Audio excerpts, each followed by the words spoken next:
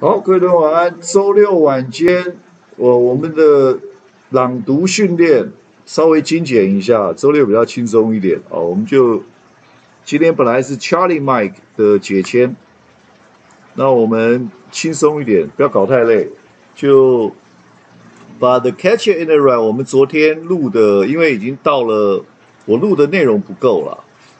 那我今天晚上利用大概二十分钟到三十分钟的时间，把朗读的部分先哦先赶一下进度，把那个篇幅稍微赶一下。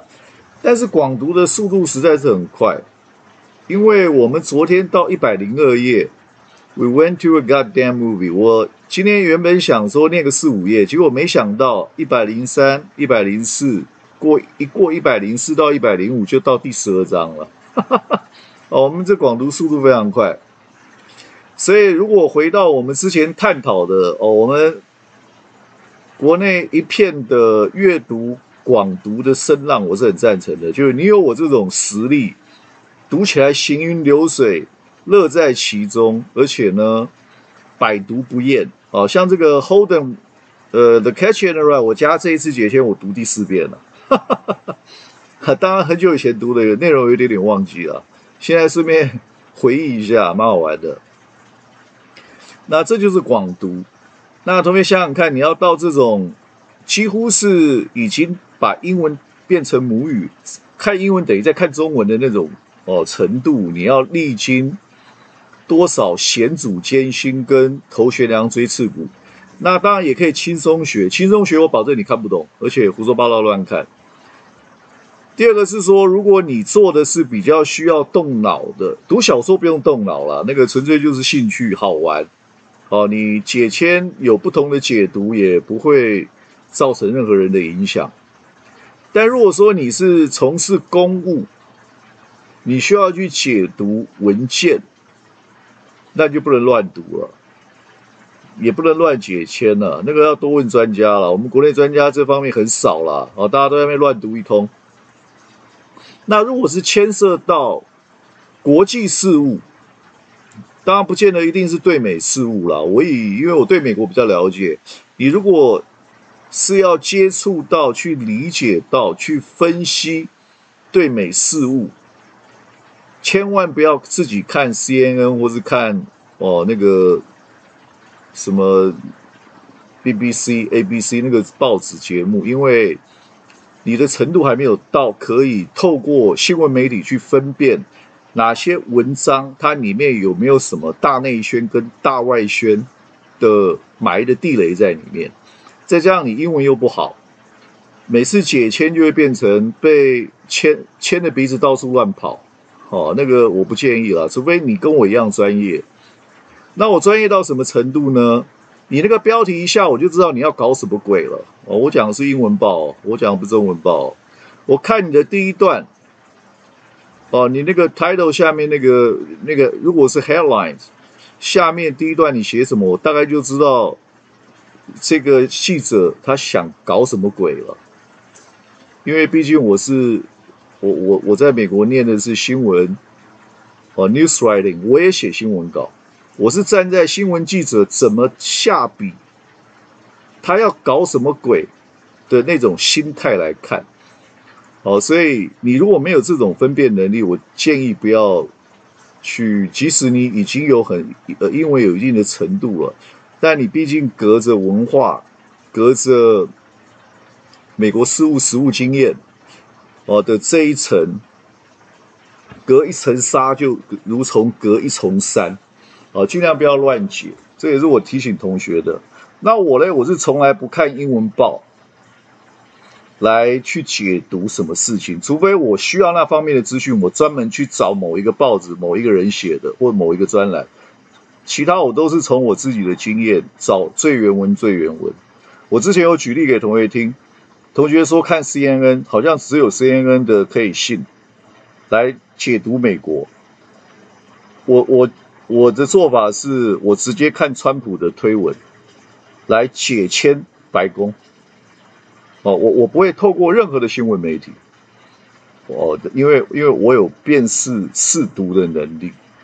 哦，这样我就不太容易被带风向。我可以带风向，我不会被带风向。这就是为什么试读能力很重要。那话讲回来，国内有几个人可以跟我一样这样试读？大家还不是都是看那个外电报道，那个那个外电谁翻的也不知道。即使你看 CNN，你看得懂吗？你没有背景值，你怎么看都是字面意思，你深层的意涵不了解哦，这样子。那你最厉害就是跟我一样了，你就直接看川普的推文吧，那个公开资讯啊，你自己看，你每天都看，呃，我是天天看了，你自然而然会串起一些那个你你你的背景值会串起来，判断就不会失准哦，这样子。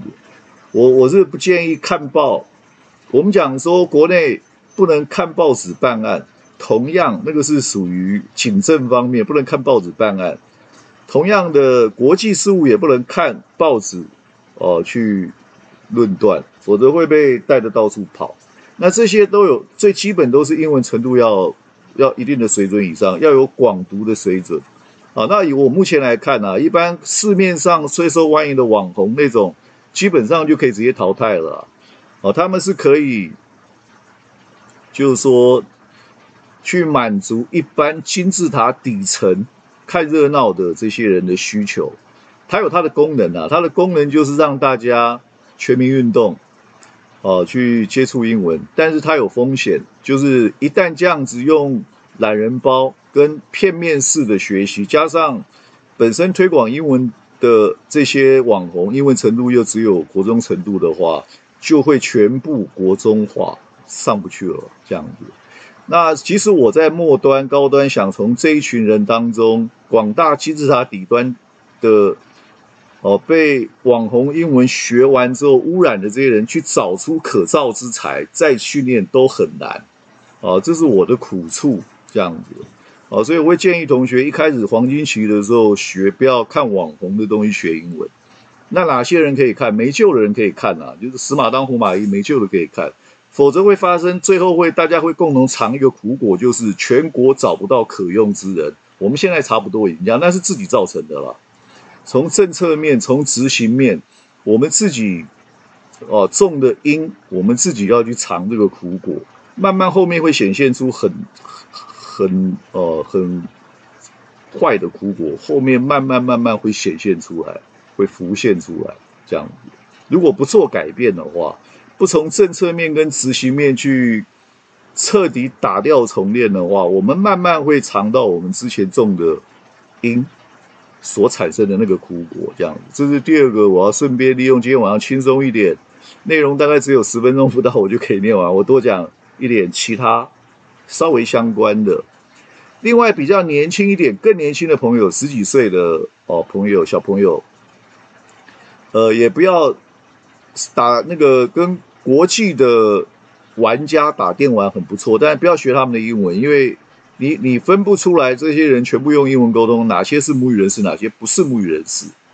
哦，今天有小朋友，那个国中我的学生，国中的学生刚考完会考，很轻松打电玩，他就秀给我看，说国外的玩家，我一看里面大部分不是母语人士，哦，乱写，我我又指给他看，哦，叫他要注意，玩可以。交朋友可以，但是不能在没有识别辨识能力的情况下，照单全收。他们讲打都打出来对话框里面的英文，那很有问题。我看了十个对话，九个是错的。哈哈哈哈啊，这样子，我证明给他看。这是我讲的第三点要注意。第四点是我之前提过，不要用懒人包学英文。懒人包就是说，哎，这句话怎么说？然后把它单独那个片语列出来。然后你把它记起来，中文记起来，但是呢，你没有一个完整句子表达的逻辑跟概念，哦，你那个片段对了，你用中文理解就已经是中式英文了，就是英文没有错，因为你用中文去记它代换，等到你想讲另外一个意思的时候，你又抓了另外一个你记的片语，两个一斗起来，中间衔接的过程出问题，甚至这个语气你是用中文的文化逻辑去理解，不是英文的。这个片语找到相对的勉强称得上的逻辑，但是一斗起来可能会变成毒药，这个要特别来，这个叫片段式学习，哦，那个叫 fragmentation，也不要这样学英文。我建议你要要学是以句子为单位，哦，不要一个字一个字的背单词学，那是我更呼吁同学不要做的。第二个是片段式的几个字几个字凑在一起当片语来记，然后大杂烩，哦，把它全部凑来，这个也会你辛苦了半天，弄到最后就是中式英文一团乱。啊，我建议同学要用完整的句子，整个句子记下来，然后查英英字典，查每个字的定义。英文字的设计是每个字都有它很完整、很严谨的定义，它的定义是在那个字里面。它的定义是在那个片语里面，它它去去用英文去记那个定义，不要看别人翻过的啊，别人翻过的你不知道谁翻的。第二个，中文看懂了，翻到英文会搞不好会啼笑皆非哦。我就拉里拉扎讲一些话十分钟，给同学做个参考。礼拜六晚上，那我现在就来从一百零二页跳到一百零三页的头，一直念到整章结束。然后为了保持整个内容的完整性。连贯性，我下一次再从十二章开始再朗读，再来解签，这样子。我们今天就很快的，周六晚上轻松一点哦，不要 不要搞太累，搞得好 好像头学量这一次骨也不好。好，那我就直接开始念了。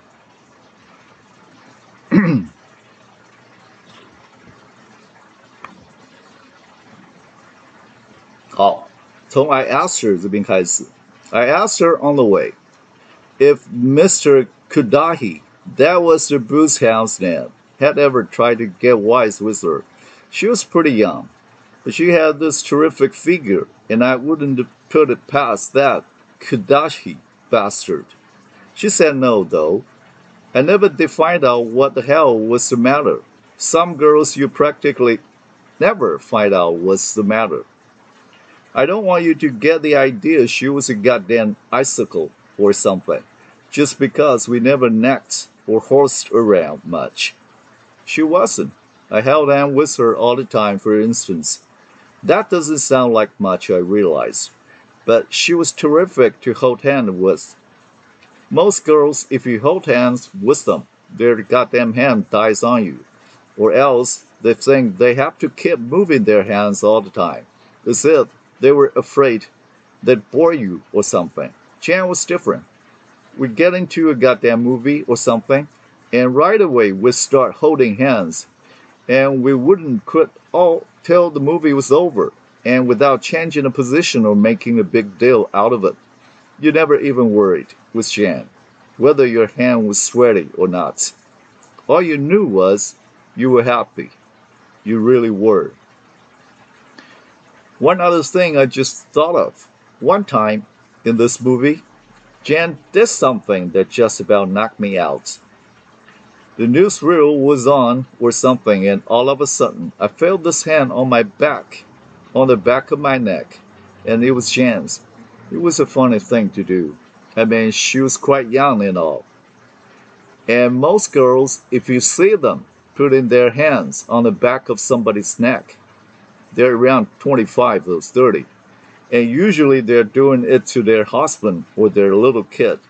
I do it to my kid's sister Phoebe once in a while, for, for instance. But if a girl's quite young and all, and she does it, it's so pretty.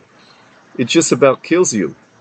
Anyway, that's what I was thinking about while I sat in the vomity looking chair in the lobby. Oh, Jan, every time I got to the part about her out we struck later in that goddamn App Banky's car. It almost drove me crazy. I knew she wouldn't let me let him get to first base with her. But it drove me crazy anyway. I don't even like to talk about it, if you want to know the truth. There was hardly anybody in the lobby anymore. Even all the horrid looking blondes weren't around anymore. And all of a sudden, I felt like getting the hell out of the place. It was too depressing and I wasn't tired or anything, so I went up to my room and put on my coat. I also took a look out the window to see if all the perverts were still in action, but the lights and all were out now. I went down in the elevator again and got a cab and told the driver to take me down to Ernest. Ernest is the nightclub in Greenwich village that my brother DB used to go to quite frequently before he went out to Hollywood and prostituted himself. He used to take me with him once in a while. Ernest's a big fat colored guy that plays the piano. He's a terrific snob, and he won't hardly even talk to you unless you're a big shot or a celebrity or something. But he can really play the piano. He's so good, he's almost corny. In fact, I don't exactly know what I mean by that, but I mean it. I certainly like to hear him play. But sometimes you feel like turning his goddamn piano over. The thing is, because sometimes when he plays, he sounds like the kind of a guy that won't talk to you unless you're a big shot. 后点真蛮好玩的。好， 才十五分五十六秒哦，那十五分这十六分钟，我觉得今天晚上啊就够催眠的了哦，因为那个礼拜六晚上大家都有活动啊，虽然已经还没有完全解封，但我相信外面应该呃夜猫族的应该可以跑出去，礼拜六晚上。跟 Holden 一样，跑到哦那个 pub 或是 piano bar，我不知道解封没有，喝个喝个啤酒清凉一下这样子啊，都耽误大家时间。好，那我们今天就前半段讲了几几点，我对我近期上课我自己的遇到的一些解答同学的一些问题，这样子，我简单再把它中整一下，因为时间还够。第一个就是呃。广读一定要历经精读，哦，这样这个过程。第二个是说，网红英文很哦，大家很习惯，而且觉得蛮轻松，可以学英文。但我我尽量建议还在学龄的小朋友，年纪大概在国小高年级一直到高中这个阶段黄金期的小朋友。能够尽量不要透过网络资源里面网红的那个部分来学英文，因为你的黄金期不能就这样毁掉了啊！你要接受比较正规文本、人本、人文的训练，像我这样训练是一种文本、人本、人文的一种训练，那你的英文就可以上轨道。上轨道之后，后面。它的方向你不会脱轨，在轨道上运行的，你才可以去尝试其他的哦，比较自由度高一点的学习方式，对你的影响就比较不会那么大啊。这个学龄这个这个部分，我刚刚讲那个年纪，这是第二点。第三点，如果是属于专业英文导向，你的工作是对外事务，即便不是对美事务，你都要哦有基本的精读的能力。广读当然你要吸收很多资料，你势必要广读的。但你如果没有精读这部分的基础，广读一定会搞错。那国际事务这一块，如果你要看新闻性的东西来做一些研判、趋势的研判，尽量不要看报纸，除非你对美国的新闻媒体很有研究，否则会被带着到处跑。再加上英文记忆又不清，很容易东看西看看错啊，这样子。所以这个部分我也提醒同学要特别注意。那要怎么看呢？呃，第一个请教专家嘛。我我算专家了，我不知道其他人是不是专家了。还有还有哪些专家？因为我毕竟我在这个圈子里面，哦，至少我在驻美代表处待过，实战经验丰富了，哦，所以你可以问专家。第二个是说，你可以哦直接像我讲过，你要你真的到一定的水准，不要看报纸，因为所有的呃趋势延续里面最 low 的哦，用香港话讲最 low 的就是看报纸，啊，除非你很懂。Journalism 很懂，否则的话找最源头。所谓的最源头就是新闻记者取材于哪里，你就找新闻记者拿的那个资料来看，不要被新闻记者取材完之后加料过的东西再去吸收他加料过的东西，这样子。哦，这是我的建议。但那你要基本上有一点功力啊，没有功力，呃，那看看报纸弄错了，你你会十次错九次哦。那要很小心。第三个就是不要片段式学习，啊，比如说我们现在的所谓的罐头文章跟懒人包不动脑的，就是哎，这个怎么讲哦？这样子，你知道这个是什么吗？呃，这个英文怎么讲？你知道吗？那个一个字一个片语，你这样记就完蛋了。哦，你要整个句子看，而且要查英英字典看每个字原来的定义，它定义很多，词性搞清楚。片语要看它的词性也很多，定义也很多。